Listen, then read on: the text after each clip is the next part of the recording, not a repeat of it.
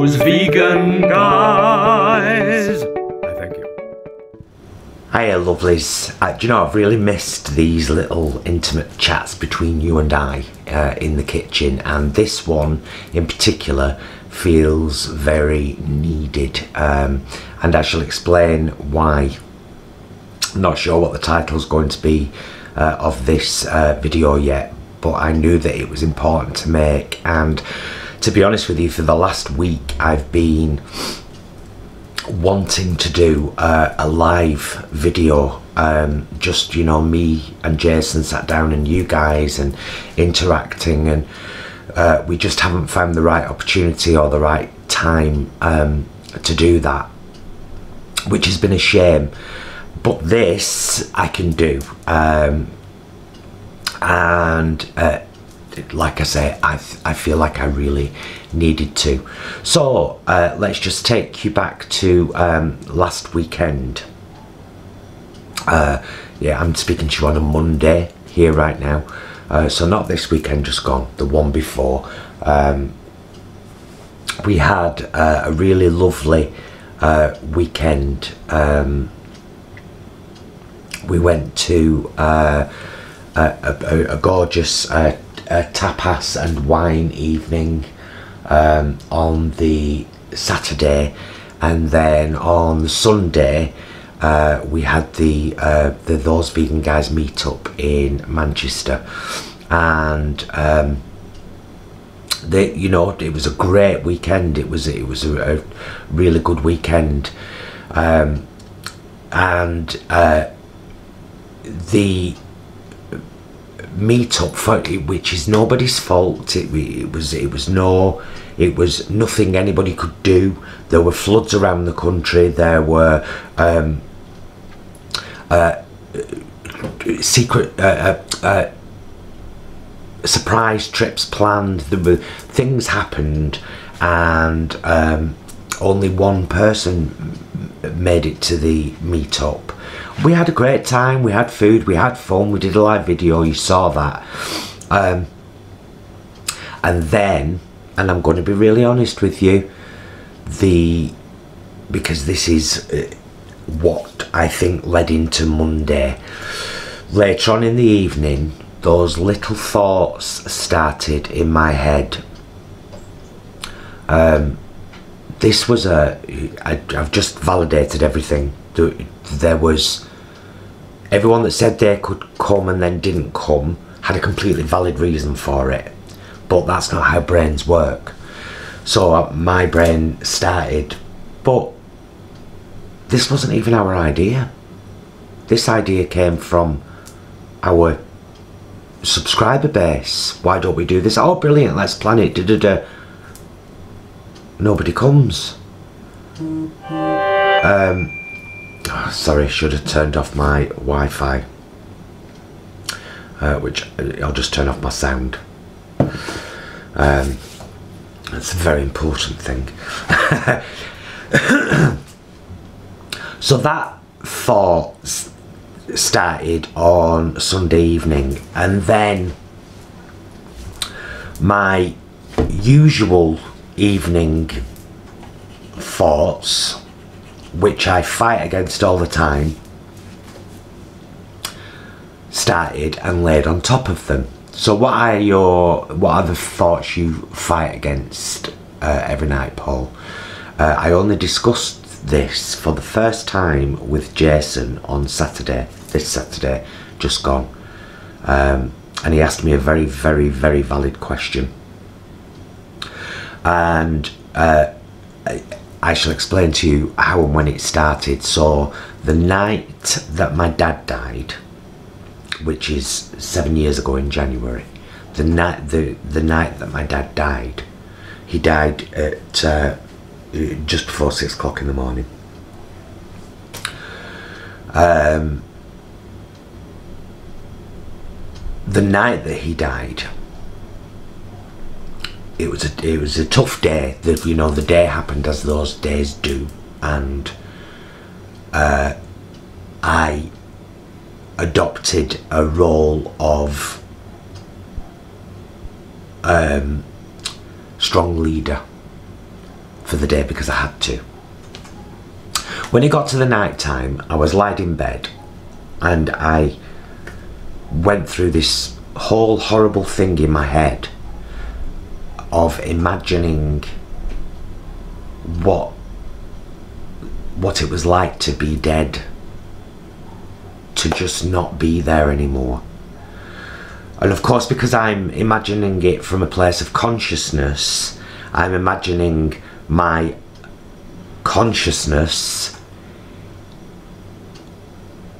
in a cold stiff motionless dead body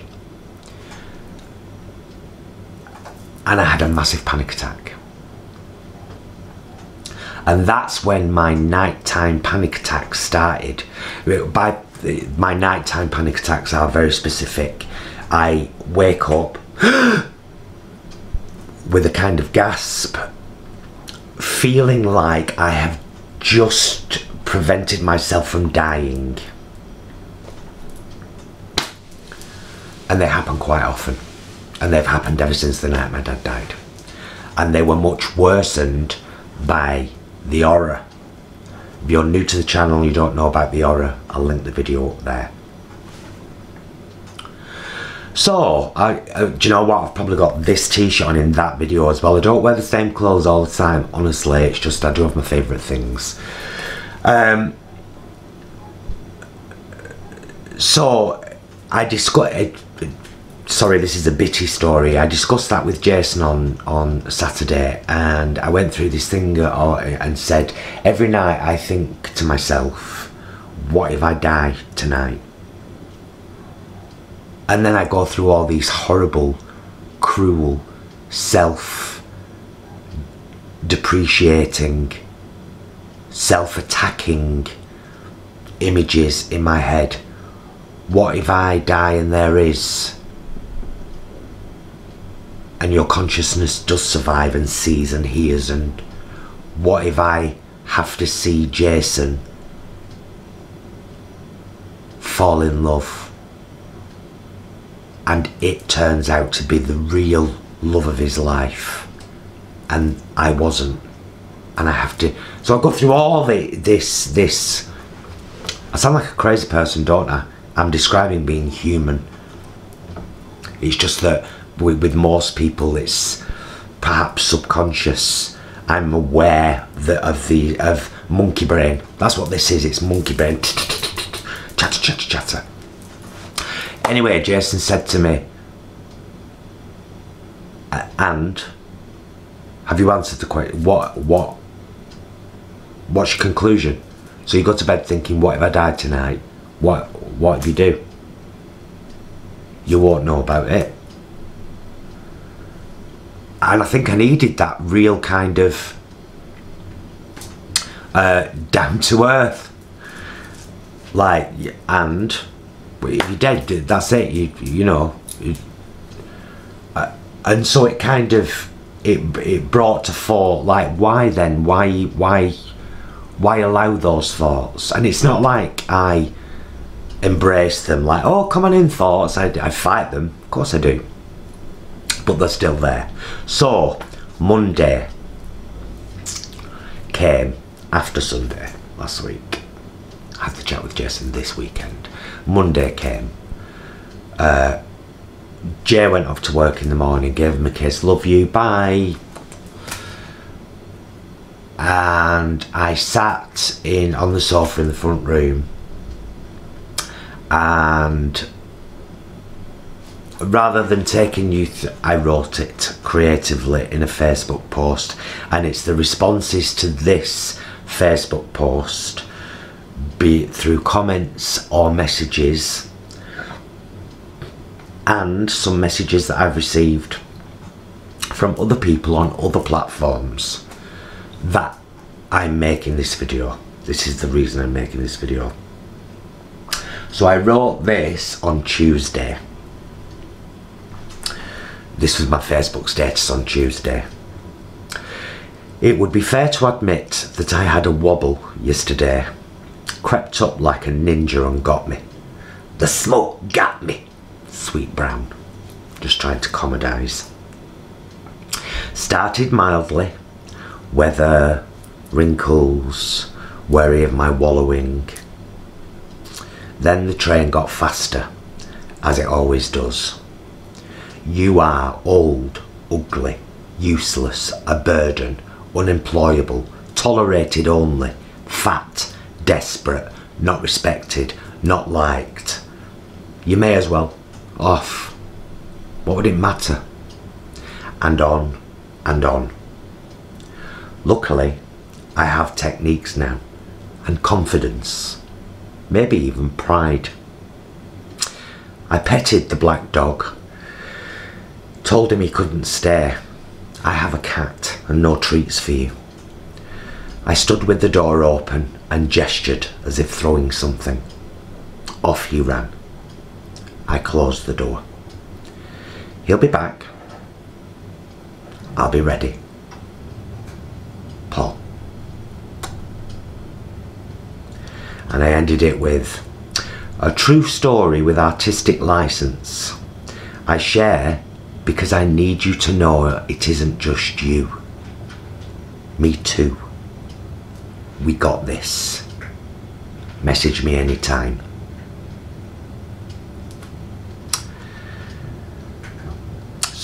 And the responses to that post and the messages that I had from that post made it very clear to me again that depression is pandemic.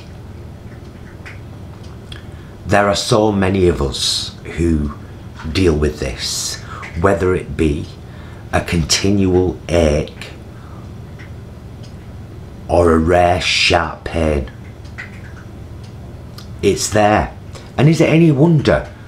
Look at the world. Look at the people who are in charge of the world. We've got Trump in America, we've got Bojo over here, we've got Russia, we've got Ukraine, we've got the the fact that we're probably going to be pulled out of the EU, that it's crazy right now. The world is a crazy place to live, and what you have to do is hold on to those anchors. And here's one of mine, funnily enough. Will you, will you come and see me for a minute? Will you, will you come and see me for a minute so that people can see you? Come on, just say a quick hello. This is this is Isis. This is Isis, and she's one of my anchors. Sorry for grabbing you, darling, but you're so moody, and you so don't like intimacy except on her terms. Where at night time she'll sit on your knee for hours, won't you? As long as you're giving a back rub or something. So she's one of my anchors. My main anchor, of course, my beautiful husband Jason, is at work. My mum is one of my anchors. She lives a few doors down from me. This. I cannot tell you what an anchor this is. Um, the. I, I was actually chatting to uh, Jason about this the other. One sec, sorry. Cat wants to go out. Go. I'll leave it ajar for you you can come back whenever you want. Am I still in short? Yes, thankfully. Um, totally lost my thread. This is what she does to me. Do you see? Yeah, it, it, it, it's basically about finding your anchors, and this is a major anchor for me. And I shouldn't make them. I shouldn't make them. Advice would go against this. This kind of length, this kind of intimacy, this kind of regularity of upload. But this year we've got so used to kind of bringing you, our friends, um, huge parts of our lives. We love to share those parts of our lives with you. um, and uh, some would call it oversharing, over uploading. You know, the, some of our videos are too long. We know that, we get that, and we and we're working on doing uh, smaller things that will have a bigger access. But this is important to me. And I know it's been important to some of you as well. Uh, so I'm going to refer you to two other videos. Uh, the first one uh, is a show, I used to host a TV show uh, in Manchester if you didn't know and the episode that had me complained about and eventually had me pulled off air after a year of doing something that will always be one of the greatest loves of my life. Um, the video of that show I'll link up there. Um, there was something else I was going to link up there. When I remember it, I'll put it in. There'll be a few things. You know that, and just in case you don't know, because I know some people get very confused, the eye that's up there, when you touch the touch me, touch the screen, it might pause, and you'll see a little white circle with an eye in it. If you press that, underneath this video will be links to all the videos I've mentioned within it. So you can't grumble. Do you know what I mean? That's alright. Um, so yeah, I got out of my funk, which lasted several long dark hours. Thankfully, that's a short time. Um, and and then I picked myself up for the rest of the week, and we got on with filming the Vegan Queens review show uh, and the recipe videos, and you know, um, we've got all sorts in the pipeline as we always have. But these days come. These days still come, and there are also moments that are more kind of that are stronger. Example, so I went to Oldham today to do a, a to check out the Iceland range. That's a whole other video. You'll see it in our uploads folder playlist. Um, and I went into uh, an Age UK uh, charity shop and was having a look, and there was this song on, and it just now and again, you know, it's rare for me now and again something hits me lyrically and melodically and I immediately feel connected to it or like it means something to me or that it beautifully epitomizes a part of me or whatever and this song all of the above. Um, so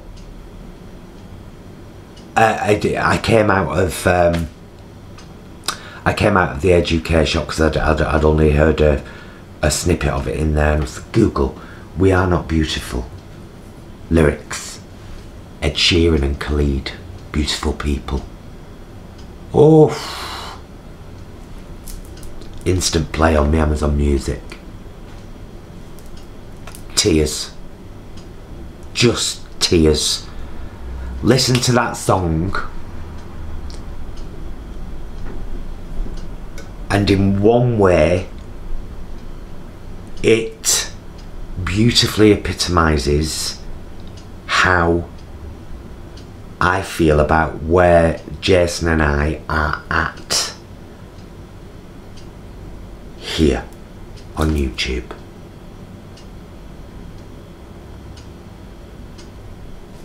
Yeah, that's pretty much I like It. So that's become a fuel song for me. Good fuel. Some songs are not good fuel. They take.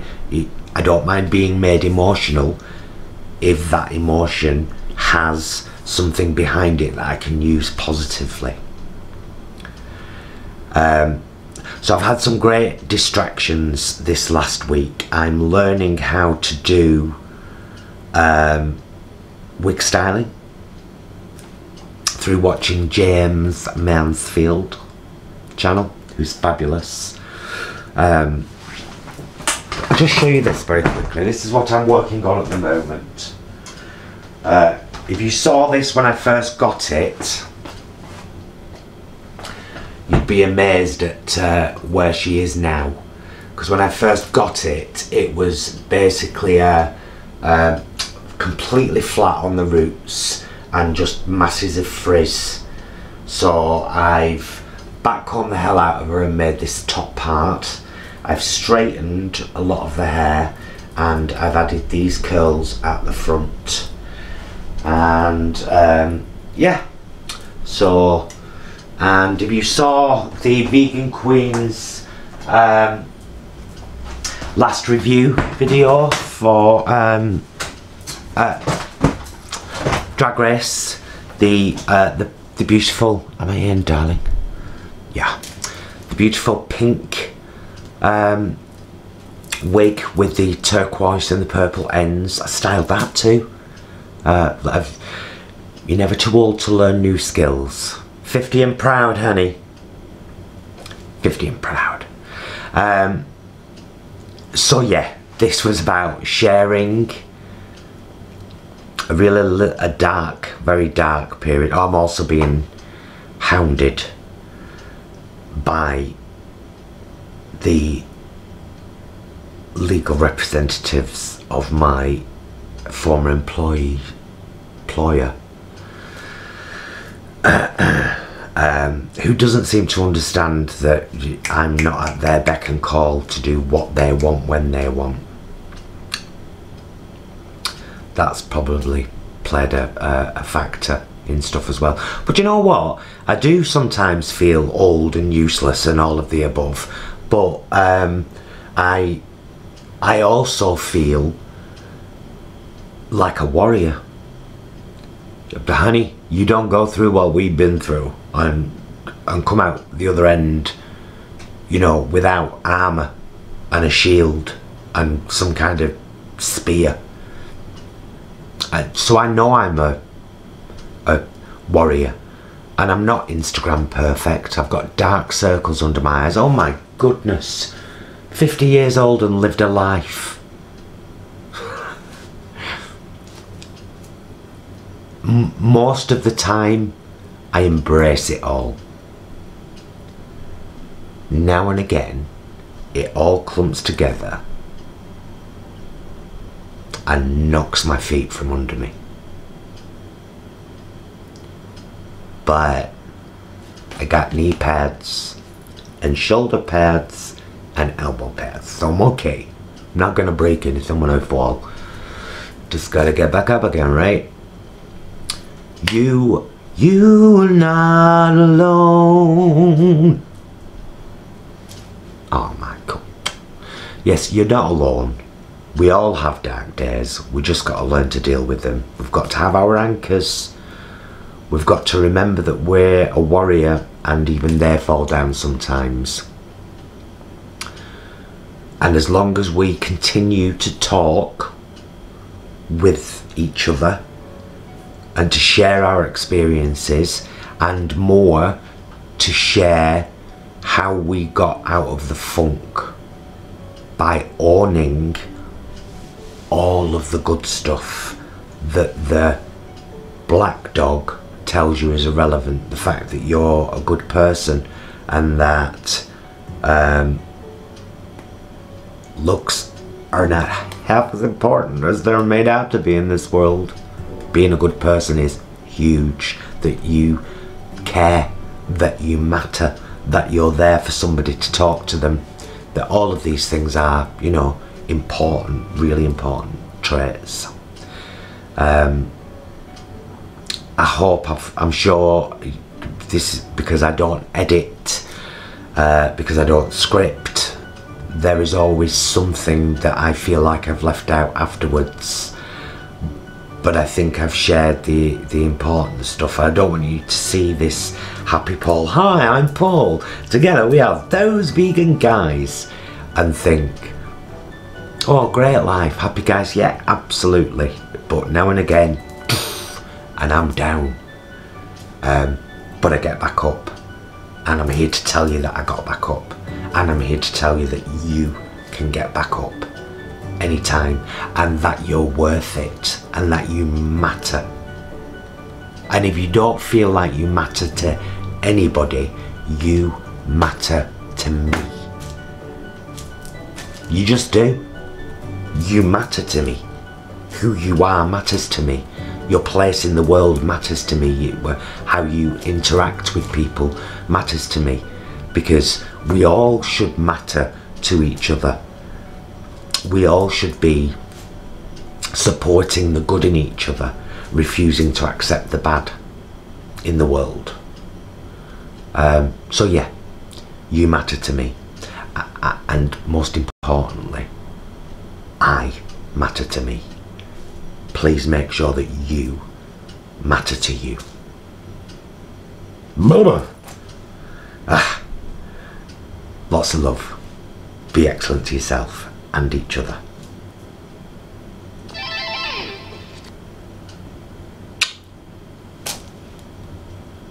Really hope you've enjoyed the video. Please do like and subscribe. It helps us out loads. It really does. And check down there in the description because you'll find loads of links. The two ways that you can best support us to keep the channel going are through becoming a patron on our Patreon down there in the description or buying our merch, darling.